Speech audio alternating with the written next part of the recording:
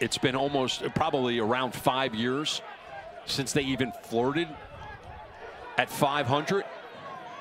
Downs playing through, and it's put back away again. Guediri has made it 3-1. Loudoun. At the 60th minute. 27 minutes, three goals for Loudoun. They convert on two here in the second half. Very by Guediri. Downs found him. That was an excellent run. Perfect pass right into the feet of Guediri.